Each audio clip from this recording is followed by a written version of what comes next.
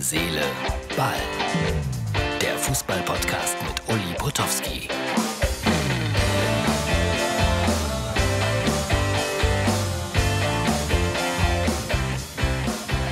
Herz, Seele, Ball für Sonntag. So, wie immer am Abend vorher aufgenommen. Ich komme gerade von der Autobahn und äh, habe im Radio dann gehört, wie Schalke sich mehr oder weniger nicht gewährt hat beim 0 zu 3 gegen Borussia Mönchengladbach. Noch acht Spiele bis zur zweiten Liga.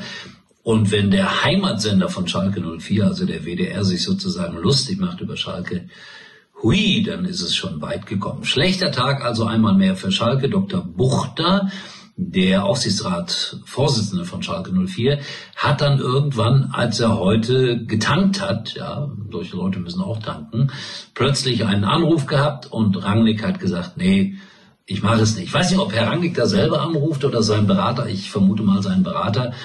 Und äh, die Begründung äh, ist ja mittlerweile Reihe umgegangen. Sie lautete, ja, alles so ein bisschen unsicher bei Schalke 04. Ich glaube, dass äh, Ralf Rangnick sich die Zahlen hat geben lassen, die er zur Verfügung hat, um mit Schalke wieder aufzusteigen. Und da ist er zusammengezuckt. Das hat nichts mit Red Bull zu tun. Das hat nichts mit SAP zu tun, auch wenn da ein paar Schalker Gönner Geld geben wollten. Aber die Summen sind natürlich unvergleichlich niedrig gegenüber den beiden anderen gerade genannten Vereinen. Und das ist nun mal leider so. Profifußball das ist Geld. Und ohne Moos nichts los, sagt man nicht nur im Ruhrgebiet. Wie immer, Impressionen, Eindrücke, Meinungen, Gerüchte von mir. Äh, ich war in Frankfurt, vielleicht, ja, machen wir es an dieser Stelle, mein kleiner Film, einmal mehr Geisterspiel in Frankfurt.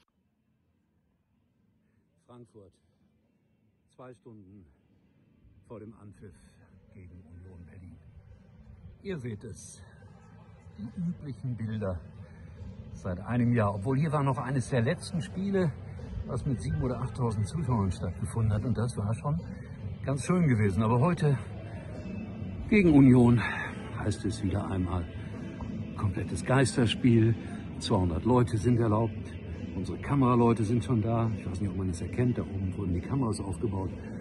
Und da ganz, da ganz unten in der Ecke wo der Kollege sitzt.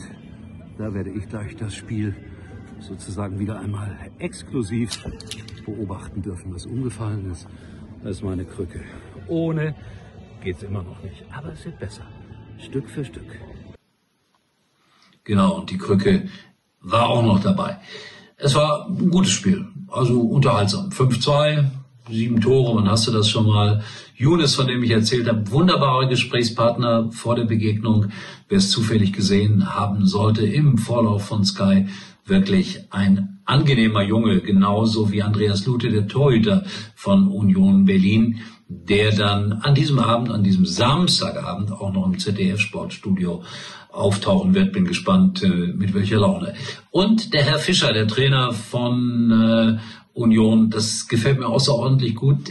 Der hat auch gute Laune, wenn mal ein Spiel 2 zu 5 verloren gegangen ist, weil er das sehr gut einordnen kann. So, und dann auch noch ein Satz zu Borussia Dortmund. Die haben nur 2 zu 2 in Köln gespielt. Scheint so ein bisschen der Angstgegner zu sein. Denn äh, in Dortmund haben sie schon 2 zu 1 verloren, jetzt nur 2 zu 2. Und Haaland hat wieder die beiden Tore gemacht. Aber wenn man die Leistung von heute zum Maßstab nimmt, dann wird das, wird das nichts gegen Manchester City.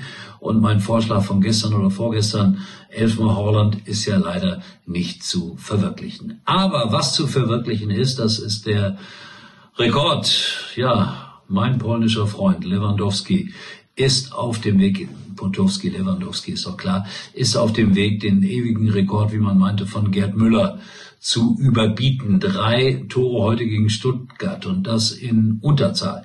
Ich finde es immer niedlich und nett und freundlich. Ich sitze da so im Stadion in Frankfurt und Martin Ernst, mein Produzent, schreibt mir dann immer nette kleine Kommentare, wie zum Beispiel, darf ich das sagen? Ja, der Schiedsrichter ist bescheuert, weil rote Karte wäre keine gewesen. Ich habe es noch nicht gesehen, ich guck's mir gleich an, Martin, und wie, es war doch eine rote Karte. Also da habe ich immer Spaß dran.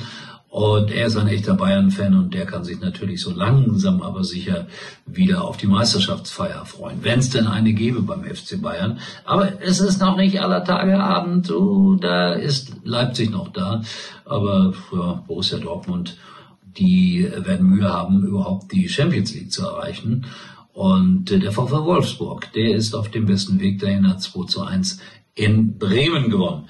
So, äh, ich werde mich jetzt auch ein bisschen aufs Sofa setzen, wenn es erlaubt ist, noch ein bisschen was essen, noch ein bisschen Sportstudio gucken und freue mich dann auf einen wirklich äh, gepflegten Sonntag in der Jogginghose. Äh, oh, habe ich vergessen. Nein, für mich ist morgen äh, ja auch Start in die grüne Saison. Jetzt wird sich der eine oder andere fragen, grüne Saison.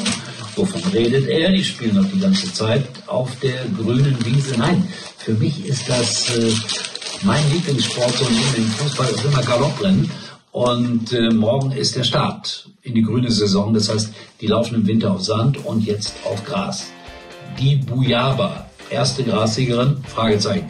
Werde ich morgen auch verfolgen. So, damit wisst ihr genau, was ich so tue. Ich hoffe, ihr habt einen schönen Sonntag und wir sehen uns wieder. Erstaunlicherweise.